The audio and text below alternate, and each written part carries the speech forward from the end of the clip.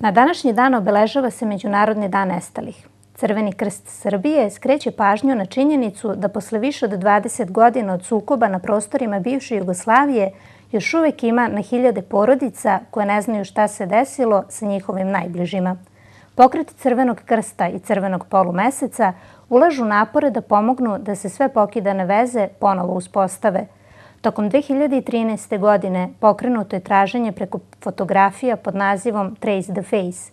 Do sada je objavljeno 3000 fotografija tražilaca, dok je 21 osoba na ovaj način uspela da nađe svoje srodnike.